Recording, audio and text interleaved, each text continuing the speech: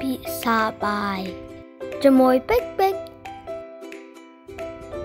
Today, this is the breakfast video we recorded. My mom created this chicken. It's very yummy. Enjoy the video.